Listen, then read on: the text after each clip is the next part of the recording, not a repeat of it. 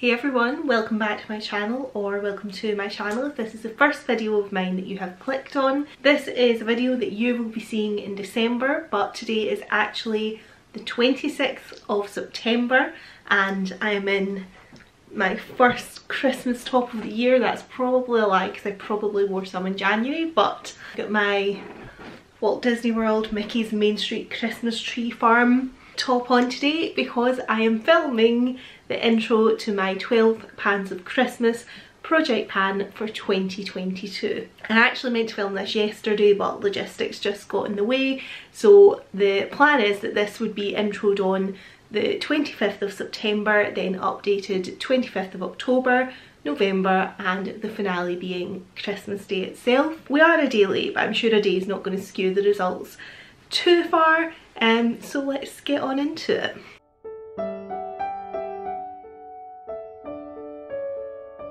The first item in the project I don't actually have to hold up and show you just now because I actually just repressed it this morning so it's still setting and it is my Tarte Paaarty Blush which was the Sephora birthday gift several years ago. It was actually in one of my previous project pans. It was in I think my year long project pan for 2021. I think it was definitely in one of my previous project pans. So it had a huge pan in it and I'll put up a cutaway of it as it was before I repressed it and then what it looks like repressed. I quite fancy seeing if I can try and finish that by the end of this project. Now I do have a blush in my main project pan for this year which is obviously still running at this point so might be a bit ambitious to try and be doing two within the year but this one started with a really big pan in it we've now repressed it so I'm hoping we should see some good movement on this within the project and ideally I'd like to finish it before the end of the year so fingers crossed.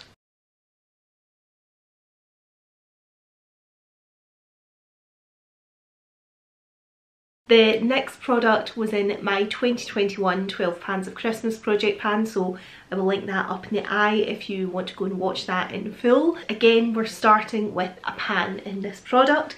It is my number 7 eyeshadow in the colour Seashell. I have it on my lids today, kind of neutral shimmery sort of iridescent shade that looks really nice with a lot of different makeup looks so hopefully it should be easy to get lots and lots of use out of we do have a pan already, so I'm not going to set a goal for this. I don't expect to finish it or anything like that by the end of the year, but just to expand the pan I thought would be quite satisfying to watch. I do also have the footage from last year's project pan, so I thought maybe at the end of this year's uh, project pan we could watch it right through from getting that pan last year into whatever we manage this year, which should be quite satisfying to see. I am also putting in the lipstick that I'm wearing right now. It's from Guerlain and it's the shade 1925 so it's this sort of beautiful, just perfect for the festive season red. I think I'll be able to get lots and lots of wear out of it. It is a matte lipstick. I'm not expecting to actually see all that much movement on it within the project. I do have a Guerlain lipstick in my main project pan for this year and I know from using that all year how little movement I've seen on it and that's in the standard formula which is kind of satiny. This is a matte so I'm expecting even less movement on this than I get on the normal lipstick but I just wanted to see if we could document a little bit of progress so I am putting that in and yeah I really do like it so I'm really excited to get some use out of it. I think it's nice sometimes to put things in a project pan that are quite new. So this is a lipstick that I got earlier this year. I obviously don't want to put it in like a year long project pan and be like thinking I'm going to finish it. Not that I ever would finish a lipstick within a year as we know from my main project pan this year and the lipstick that is within that. But yeah, like I, I think these like short-term project pans are quite nice to make sure you're getting your use out of something new without like kind of finishing it more quickly than you would like to finish it. So yeah, really excited to have this one in the project. To complement the lipstick I'm putting in this lip liner from MAC. It is their lip liner in the shade Red with a double D at the end. Yeah, just a kind of standard lip pencil and again, not going to set any goals in this, just that it works with the lipstick so anytime I'm wearing the lipstick I will be able to wear this and see what movement we make.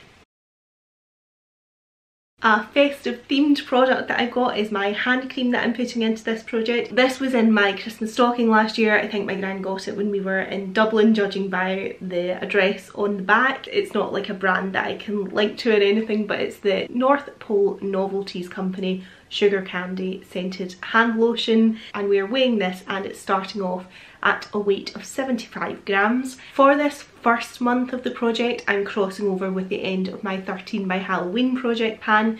If you've not seen that I will link the playlist up in the eye for you to go and watch and I do have a hand cream in that that I'm trying to finish this month so I feel like I'll probably be trying to finish that in October for the end of that project and then like hitting this one hard in November and December so might not see a lot of movement on this in the first month but I'm still hopeful that I'll manage to finish it within the project. I like it a lot better than the hand cream that I've got in that project so that's why I'm deliberately telling myself like finish the other one first because I know if it was just left to me I would pick to use the one in this project every time.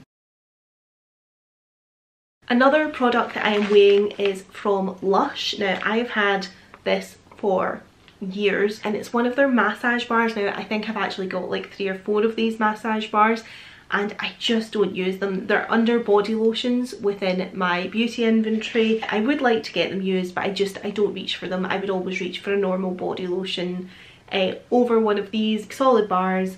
Then they melt on contact with your skin and because they are massage bars, they're designed for that purpose. So they're a bit more work than just slapping on and rubbing in a normal body cream. So I have quite a few of these, but very rarely reach for them. So this one I am putting in the project. This is I think called Hottie. It's supposed to be quite good for like sore muscles and whatever. I'm just going to put it back in the bag so it doesn't start melting uh, onto my fingers. This one has a starting weight of 58 grams.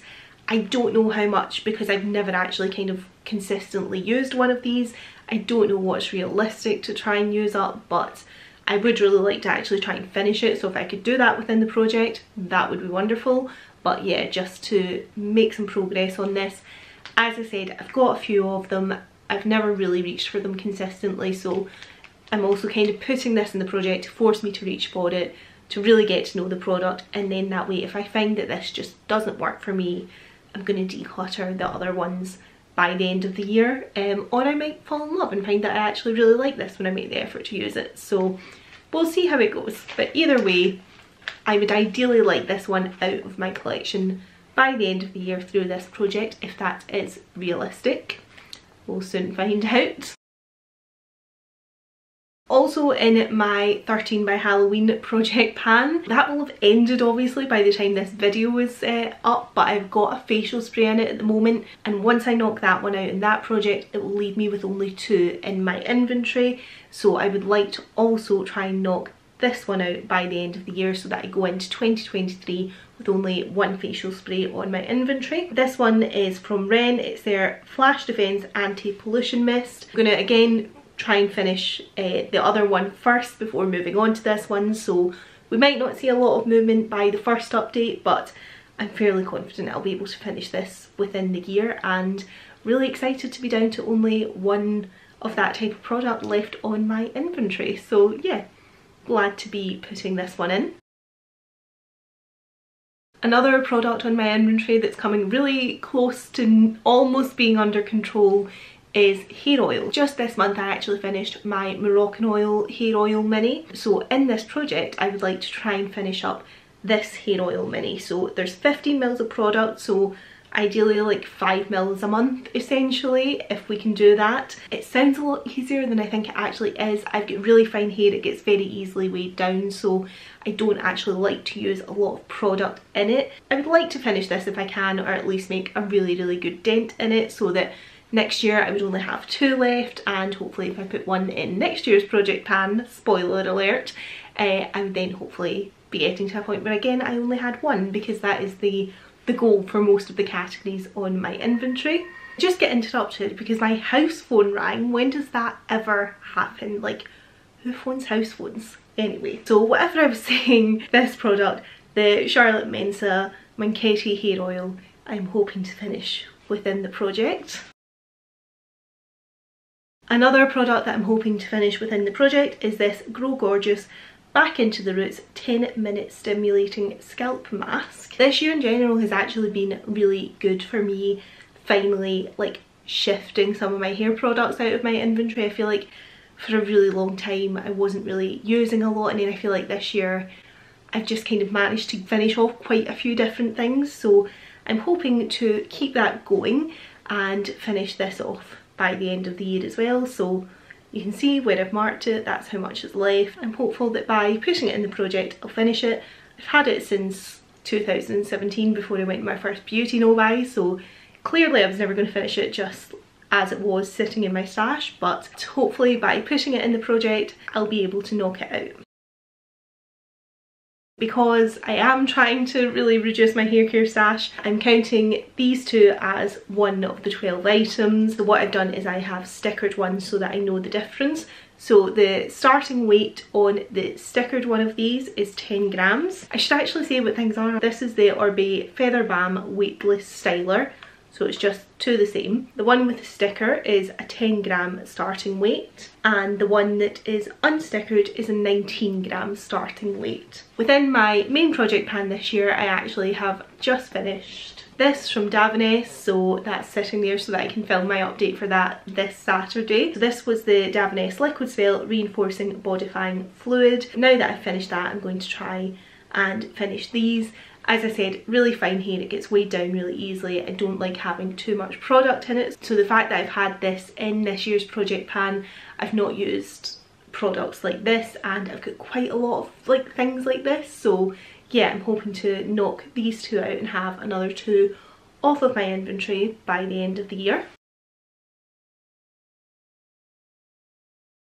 And then item number 12 is a similar setup where it is two minis that I'm counting as one product. Origins Original Skin Retexturizing Mask with rose clay. So I actually have a full size of this. If you are a regular viewer you will know that my goal this year for my makeup rehab is to finish up 300 products. So uh, yeah that is basically the kind of logic behind a lot of these minis is that you know, they get the quantity up. In previous years I've been doing reverse rouge, I've been concentrating more on the value of what I'm using up, but this year it's all about the quantity. So I would like to bolster that number with another two minis in this last product that I'm counting as one product for the sake of the 12 pans. So I've done the same as I've done with the Oribe, put a sticker on the back of one of them. The starting weight of the one with the sticker is 21 grams and then the starting weight of the unstickered product is 20 grams. I think I just said that was the last item, but it's actually not. This is the last item, item number 12 and it's from Guerlain. It's their L'Or Radiance Concentrate Primer and this has actually got gold flecks through it which I thought made it super sort of festive and appropriate for Christmas. So yeah, I have actually, I've literally used this for the first time today. So this was a brand new product until today. I'm hopeful that because it is a mini, I think it's 5 mils of product. Yeah, 5 mils, um, I should be able to finish it within the project. So that is actually the last item. So that is where we are starting off for my 12 pans of Christmas. I'm really, really excited to get into, I like these little sort of short term uh, project pans. I feel like they add a bit of urgency and yeah, I'm just quite into them. Especially I feel like at this point in the year, I've been doing my year long one for so long. I'm kind of quite ready for the end of it. So I quite enjoy doing something that sort of rejuvenates my, my project pan love at this time of the year. So yeah, thank you very much for watching. If you like Project Pan content, as I said, I did this project last year. I've done my 13 by Halloween this year. I've also had my main project pans last year and this year. So I will link things up on the end card if you want to go and check any of those out. And do hit subscribe so that you can come back to the updates of this project. Thank you very much for watching and I will see you in my next video. Bye!